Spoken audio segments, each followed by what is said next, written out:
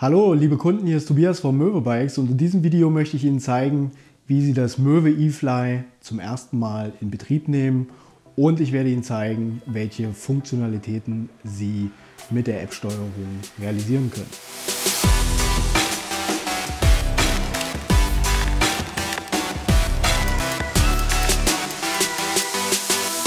Ja, wie angekündigt äh, geht es heute um die Erstinbetriebnahme. Sie haben also dementsprechend jetzt Ihr Möwe eFly gekauft bzw. zum Probefahren von uns bekommen, ausgepackt und es steht jetzt fahrbereit vor Ihnen. Bei der Erstinbetriebnahme ist es für Sie wichtig, ähm, darauf zu achten, dass Sie den Akkuschalter betätigen. Sie sehen dann schon, wie die LEDs an der ähm, Akkuleuchtleiste äh, aufblinken und in dem Moment fährt ähm, auch schon das Display vom NeoDrives Z20 hoch. Hier gibt es noch eine wichtige Besonderheit, die Sie in Zukunft auch beachten müssen, die auch sehr wichtig ist. Bitte immer, wenn Sie das Fahrrad starten, darauf achten, dass erst das Display komplett ähm, voll hochgefahren ist, weil in dieser Zeit des Einschaltvorganges ähm, gleichzeitig eine Drehmomentmessung am Radnabenmotor vorgenommen wird. Und wenn Sie jetzt in dieser Zeit schon pedalieren würden, also äh, in die Tretkurbel treten würden, das heißt also Sie fahren los und schalten dann das System ein, dann gibt es eine Fehlmessung und es kann sein, dass die Unterstützung vom Elektromotor dann nicht funktioniert. Wenn das passiert sein sollte, einfach anhalten, das System ausschalten, nochmal neu hochfahren, warten bis das Display brennt und wenn das der Fall ist, können Sie dann über die Unterstützungsstufen, das ist dieser Schalter hier, ähm, die einzelnen Stufen von 1 bis 5 wählen. Das ist jetzt auch erstmal wichtig für Sie. Eins der ähm, wichtigen Schalter ist also diese Bedieneinheit hier auf der linken Seite des Fahrrades. Und ähm, Sie haben also hier über den Plus-Taster die Möglichkeit, die Fahrstufen nach oben hin zu wählen von 1 bis 5 beziehungsweise über den Minus-Taster von äh, 5 bis minus 2. Das funktioniert aber nur, wenn Sie fahren, weil ähm, minus 1 und minus 2, das sind die Rekuperationsstufen. Das bedeutet also, wenn Sie bergab fahren und mit der Motorbremse bremsen möchten, dann wählen Sie einfach den Minus-Taster in, in die Stufe 1, also minus 1 bzw. minus 2 und Sie erhalten sozusagen eine Motorbremse. Der schöne positive Nebeneffekt dabei ist, dass der Akku gleichzeitig wieder beladen wird durch, diese, durch diesen Generatorstrom, der sozusagen erzeugt wird. Was ist noch wichtig an der Bedieneinheit, die Sie halt dauerhaft nutzen? Das ist hier dieser kleine Beleuchtungstaster. Das heißt, hier schalten Sie die Beleuchtung des eFly Apps an und können die auch dementsprechend wieder ausschalten. Dann gibt es noch einen zweiten Taster auf dieser Seite hier und mit diesem Taster können Sie sich die Anzeigenfunktionalitäten auf dem Display sozusagen äh, durchschalten. Es gibt einmal die Möglichkeit, sich hier die Distanz und die Fahrzeit anzeigen zu lassen, beziehungsweise gibt es auch hier die Möglichkeit, sich die verbrauchten Kilokalorien anzeigen zu lassen. Beziehungsweise wenn Sie nur die Geschwindigkeit sehen möchten, schalten Sie, klicken Sie dreimal darauf und dann sehen Sie wieder nur in einem großen Display die, die Fahrgeschwindigkeit, die Sie aktuell ähm, haben. Ja, was ist noch wichtig?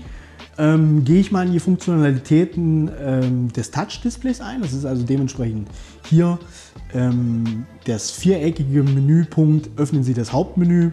Sie haben dann die Möglichkeit hier ähm, sich über Informationen von der aktuellen Fahrt einzuholen. Sie können über den Zurücksetzen-Taster bzw. den Touch-Bereich dann ganz einfach äh, die gefahrene Distanz wieder auf Null setzen. Das ist zum Beispiel wichtig, wenn Sie Touren fahren und möchten messen, wie lange sind sie denn gefahren, beziehungsweise wie weit kamen sie mit einer Akkuladung. Ähm, das kann man also über diese Funktionalität machen. Dann haben wir hier den Bereich Verbinden. Da gehe ich gleich nochmal drauf ein, weil da geht es darum, ähm, den NeoDrives, die NeoDrives-Steuerung mit der Smartphone-App zu verbinden. Dann haben Sie hier nochmal eine wichtige Übersicht, das ist der Bereich Inspektionen. Ähm, und in diesem Bereich haben, sehen Sie also zum einen Ihre Rahmen-ID. Also das ist also die Nummer passend zu Ihrem Fahrrad, ähm, die von uns äh, vor dem Auslieferungszustand einprogrammiert wird.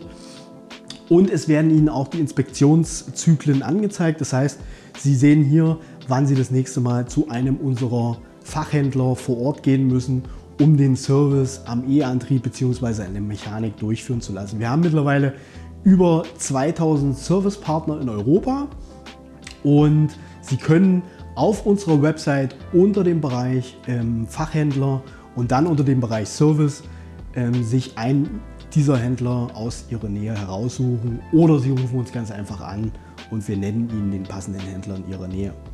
Mit dem Pfeil, mit der Pfeiltaste können Sie wieder zurück aus dem Menü und dann haben Sie hier nochmal den Bereich Einstellungen.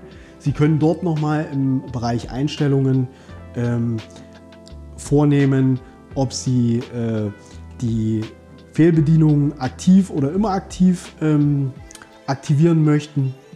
Sie haben die Möglichkeit, ähm, sich anzeigen zu, äh, anzeigen zu lassen, ähm, wie der Akkustand ist. Zum einen in Prozent, zum anderen über ein ähm, klassisches Symbol eines, eines Akkus. Oder Sie können sich auch die Reichweite anzeigen lassen.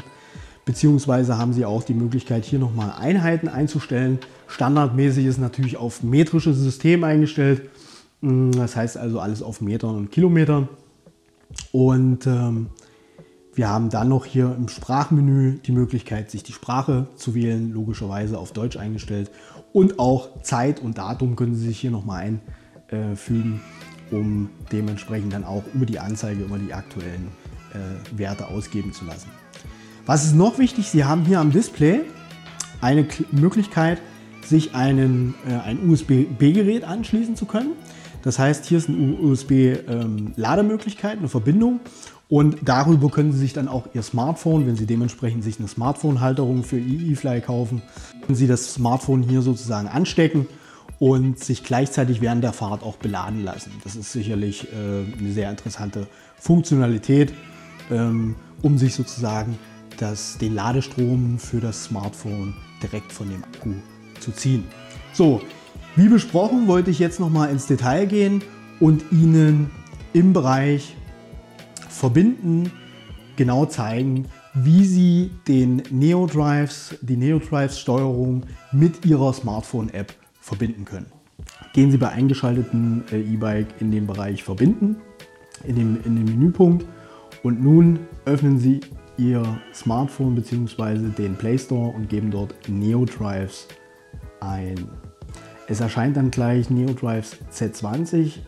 Sehr wichtig, bitte die Smart Connect Z20 App installieren.